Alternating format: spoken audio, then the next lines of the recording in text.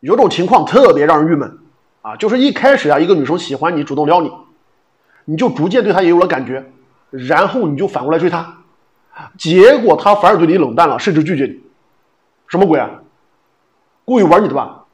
不对，她不是故意玩你，而是控制不住的要玩你，这是女人的天性。女人都有一个神技能啊，就是对自己已经拥有的东西啊，会找茬挑刺儿，然后越挑刺儿越觉得后悔不满意。啊，你看他们衣柜里面满满当当的，却还是嫌弃没衣服，就是这个道理。啊，这件颜色不流行了，啊，这件款式太老了，这件布料不舒服，这件和隔壁翠花撞衫了，总有理由找出一大堆毛病，然后再去买新的。女人恋爱也是这样，开始你没追她没表白的时候，你就是商场里的衣服，看着顺眼想来一件。可当你明确要追她之后啊，她就明确的拥有了你的喜欢，就会本能的开启找茬模式。啊，你身高不行，皮肤不行，性格不行，打嗝太响，放屁太臭，总之满眼都是你的缺点，啊，于是他就后悔了，对你的态度变了。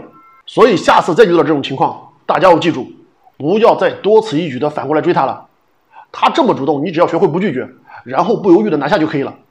不要给他反过来考验你的机会，打他个措手不及。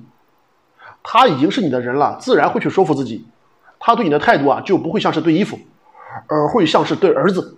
啊，一方面有些不满意、后悔，另一方面呢，还会告诉自己没办法，亲生的，自己选的，啊，木已成舟，就这么过吧。总结一句话，面对有利的局面啊，一定要趁热打铁，顺水推舟，否则就会夜长梦多。抖音。